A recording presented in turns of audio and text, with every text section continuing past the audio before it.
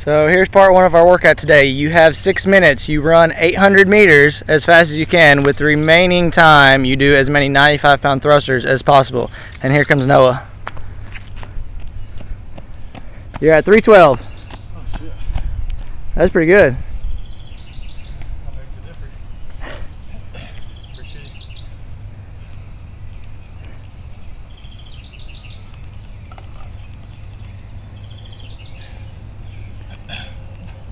At three and a half minutes.